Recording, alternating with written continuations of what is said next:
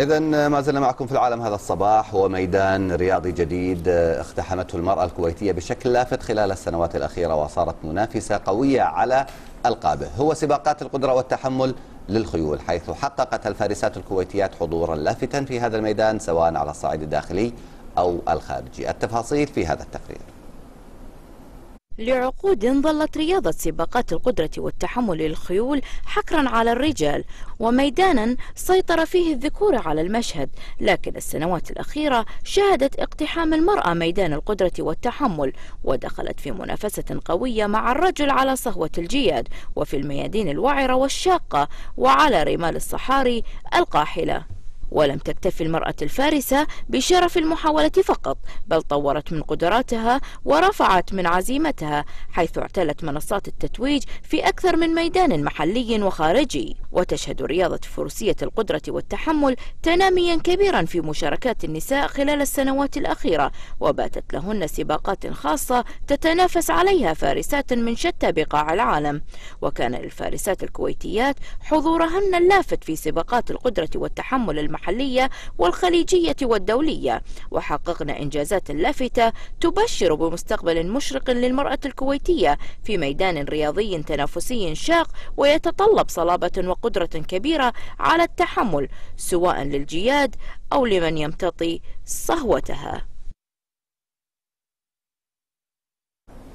للحديث أكثر حول هذا الموضوع يسعدنا أن نستضيف معنا في الاستوديو الفارسة الكويتية هبة اليعيش والمدرب صالح نور الدين المتخصص في سباقات القدرة والتحمل. حياكم الله في برنامج العالم هذا الصباح. الله يحييك. أهلا وسهلا فيكم.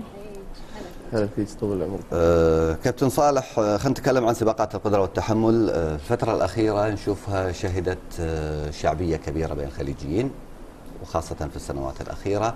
سر هذا التنامي في إعداد سباقات التحمل بالنسبة للخيول. أول شيء يعطيكم العافية على الاستضافة الجميلة هذه. آه القدرة والتحمل آه انتشرت نفس ما تفضلت بالآونة الأخيرة. سببها شوف الأشخاص اللي قاعد يهتمون يدعمون الرياضة هذه خليجيا سواء دول الإمارات قطر البحرين الكويت السعودية. نعم. فكلها شخصيات يعني قيادية. جميل. فحصلت دعم كبير.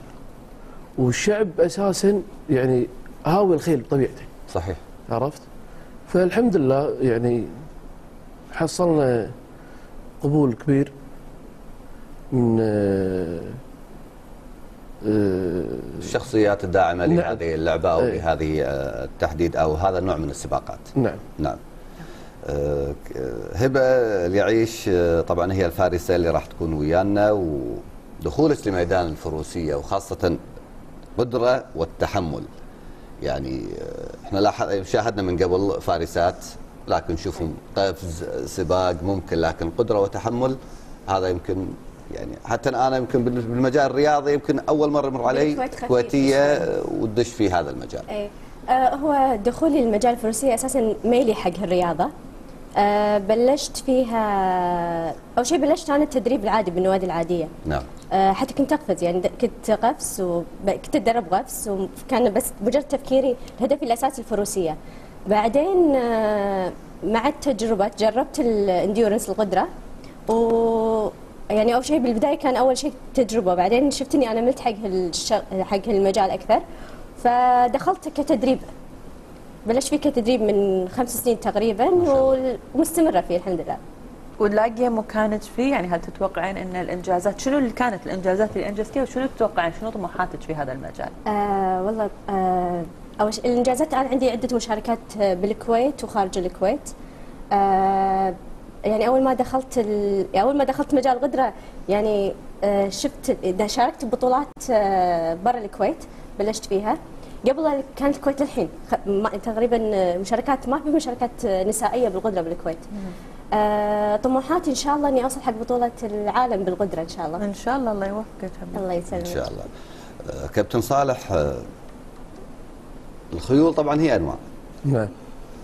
القدرة والتحمل يمكن يا ريت يعني تصلح معلومتي هذه. أنا أدري مثلا الحصان الاسترالي هو الأكثر تحمل والله أعلم أنتم أخبر. نعم. آه نوعية الخيل اللي تختارونه حق هذه المسابقة بالتحديد. نوع معين أصالة معينة هي طبعا الخيل العربيه أفضل خيل للقدره والتحمل قدرة التحمل. نعم. ما شاء الله. استراليا نفس ما تفضلت آه، خيلها جيدة لأن مراعيها كبيرة. فيوم تأخذ منهم حصان من نشأته من ولادته لين صار حصان يركب يقطع مسافات كل يوم كبيرة بال- لأن مرعاه عود. جميل. يعني اي يتمشى يأخذ له قول 10 كيلو عشان يروح يرعى له شوية ويرد أو يشرب ماي. ف مساحه كبيرة. عندك بالكويت إذا تبي تنتج ما عندك ذيك المساحة يعني. تظلمة؟ يعني إيه. هني. ونوعية الأرض تنشئ لك بنية جيدة للقدرة والتحمل. بس الخيل العربية هي أفضل خيل حق القدرة والتحمل. وفي بيئتها أساسا. يعني مثل نعم. ما تفضلت إذا نجيب ال- الخيل الأسترالي وإن كان قوي لكن البيئة ما تصلح له. فالخيل العربي قوي ومناسب لهذه الرياضة وبنفس الوقت في بيئته الصالحه نعم. نعم.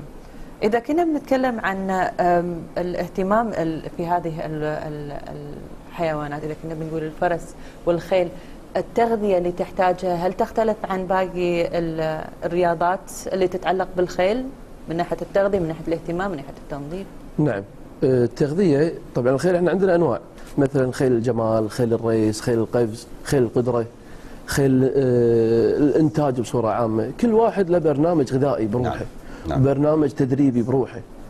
يعني آه، خيل القدرة نظام تغذيته يختلف، نسبة البروتين اللي يحتاجها الجسم غير عن آه، نسبة البروتين اللي يحتاجها خيل القفز مثلا نعم. أو خيل السرعة أو خيل الإنتاج.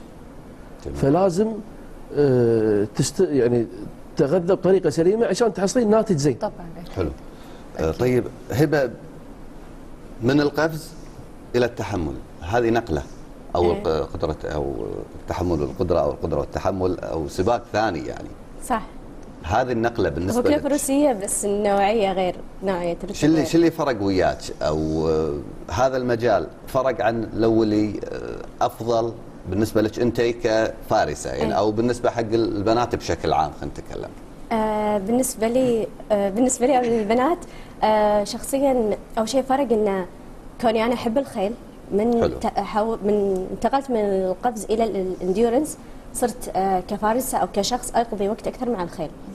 آه لي علاقة أكثر بالخيل مو. مجرد إنه ركوب وخلص لي class اللي هو آه بالقفز بعد يمكن دقائق ويخلصون حزة المنافسة.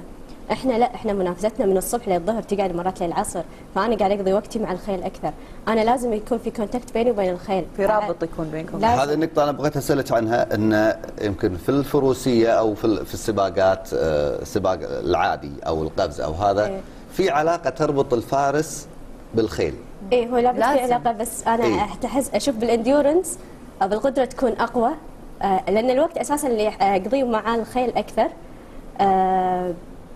آه بالنسبة لي أنا شخصيا يعني أنا شيء أحبه فقاعدة أسوي وقت أطول إن وجودي مع الخيل إن كالفروسية نفسها أكثر.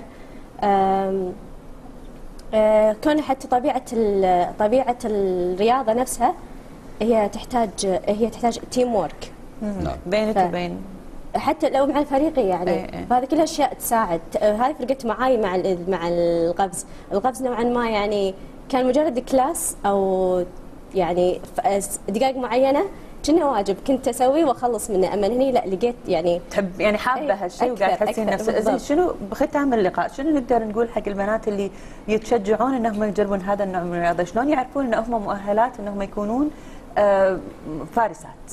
آه، أول شيء أنا أشوف الفروسية إنه ما حد ما حد راح يقدر إنه هو يستمر فيها إذا ما يحبها.